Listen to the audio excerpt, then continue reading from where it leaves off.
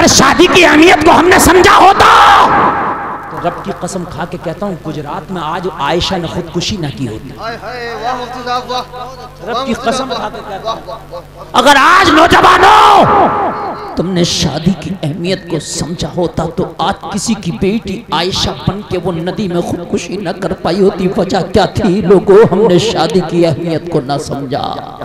मैं वहीं तो लाना चाह रहा हूँ तुम्हें यार मैं नहीं चाहता कि किसी की और बेटी आयशा बन के किसी नदी में छलांग लगा के अपनी जान दे दे। लोगों, बहनें, तुम्हारी भी हैं, बेटियाँ, तुम्हारी भी है। आज शादी का मकसद ही हम ना समझ पाए।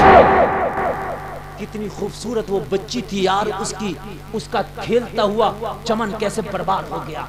सिर्फ़ वो जालिम, उसका शोहर। शादी का माना ना समझ पाया। अगर उसका शोहर शादी का माना समझ पाया होता तो आयशा नदी की भेंट ना चढ़ी होती। उसने जहेज को शादी समझा था। उसने पैसे को शादी समझा था। उसने कैश को शादी समझा था। माल दौलत को शादी समझा था। ना! नौजवानों माल की कोई अहमियत नहीं है। खुदा की कसम खा के कहता हूँ जो शादी की अहमियत है। इसलिए कि माल तो बादशाह भी अपनी बेटी को दे सकता था, मगर जो सुकून शोहर देता अपनी बीवी को, वो बाप अपनी बेटी को नहीं दे सकता। जो बीवी शोहर को सुकून देती है, वो सुकून उसके शोहर को पूरी दुनिया नहीं दे सकती है। नहीं समझे इसका मतलब? लोगों टॉर्चर करता रहा। काश अगर हमने शादी के मतलब समझ लिया काश हमने बीवी की इज्जतों को समझ लिया हो। यार जहेज की औकात का, आज मैं तुम्हें एक बात बता दूँगा ठंडे दिल से सोच के उठना। लोग जो कहते हैं, दुल्हनी जहेज है। यार, दुल्हनी जहेज है। हकीकत बात है। कान खोल के सुन लो। नौजवानों, आज मैं तुम्हें एक बात बता देता हूँ।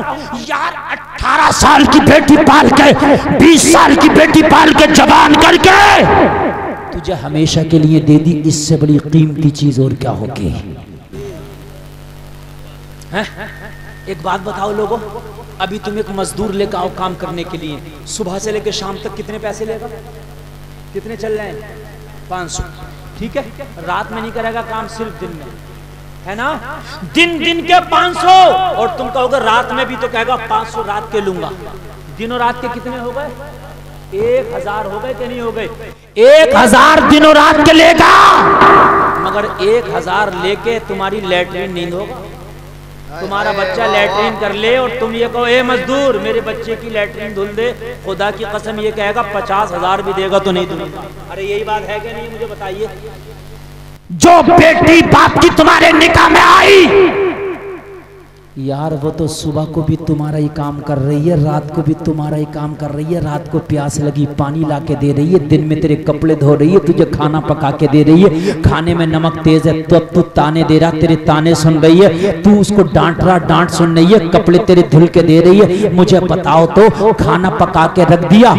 इंतज़ार में खा ही नहीं रही है मेरा शोहर, आएगा पहले वो खाएगा, बाद में मैं खाऊँगी।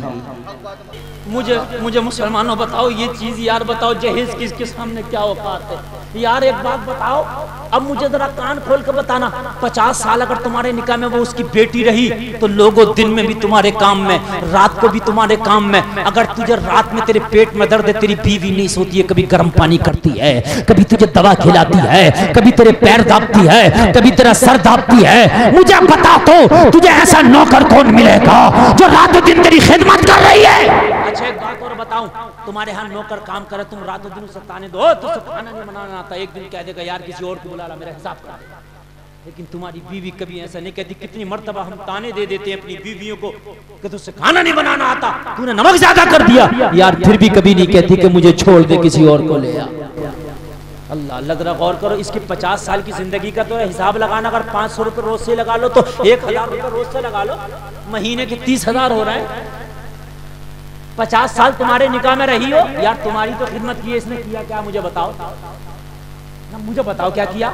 तुम्हारे घर का माल अपने बाप के घर तो नहीं देके नहीं लेके जाके दे आई? कुछ भी नहीं? तुम्हारे तुम घर में नहीं थे एक एक महीने में कमा के आते थे तुम सऊदी चले गए तुम्हारे घर को बना कर रखती तुम्हारे घर की हिफाजत करती थी? एक एक पैसा बचाती थी? तुम्हारा घर बना दिया उसने? तुम्हारे घर का कोई भी सिक्का अपने बाप को तो नहीं देके आई ना? तुम्हारा ही तो घर बनाया। उसके बाद में जब औलाद पैदा हुई तो औलाद किसकी है? वो उसकी नहीं है वो औलाद तेरी है। आधार कार्ड का नाम उसकी माँ का नहीं उसके बाप का लिखा जाएगा। हक बात है। किसकी है? औलाद किसकी है? और सुनो यहाँ से कयामत तक और कयामत से जन्नत तक जब उठाया जाएगा तो बाप के नाम के साथ उठाया जाएगा माँ के नाम के साथ नहीं उठाया जाएगा। इसलिए कि औलाद बाप की होती है औलाद माँ की नहीं होती।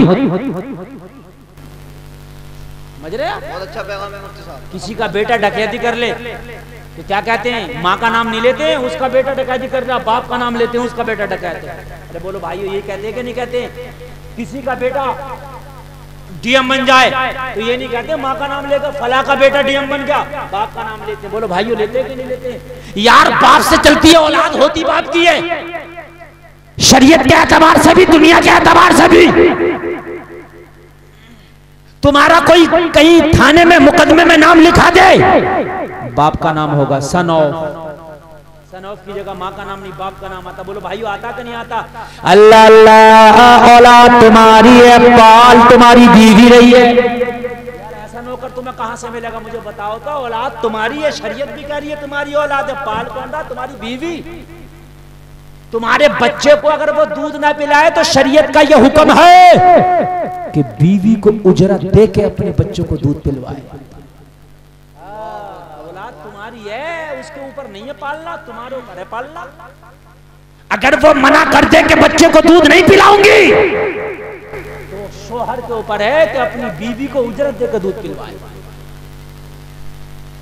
क्योंकि औलाद हमारी है ना। यार इससे बड़ा जहेज क्या होगा?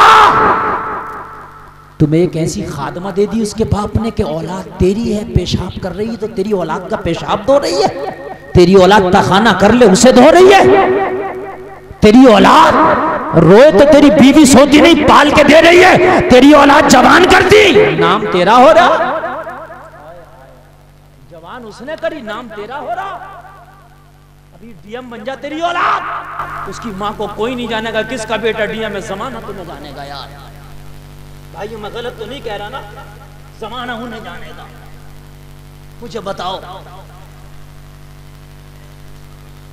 आला हज़रत को जमाना जानता, उनके अब्बा को जमाना जानता, उनकी अम्मी को कौन जानता होगा मुझे बताओ? आला हज़रत ने पूरी दुनिया में मशहूर हुए, हर आदमी कहता, मौलाना नके अली खान के बेटे हैं आला हज़रत, उनकी अम्मी का नाम बताओ, किसी को पता नहीं? इसलिए नाम बाप से चलता माँ से नहीं चलता